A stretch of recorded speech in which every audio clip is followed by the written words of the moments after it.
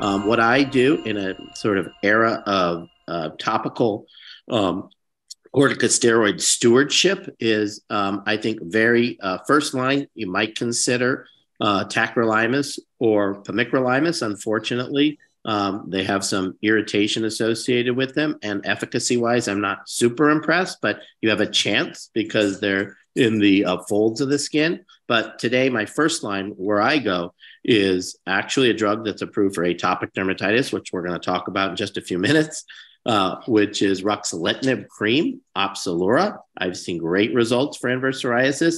And then straight away, roflumilast cream and uh, tapinarof cream. Those three, I think, you're going to uh, have a great chance with a topical seeing good results if you're not employing a systemic agent.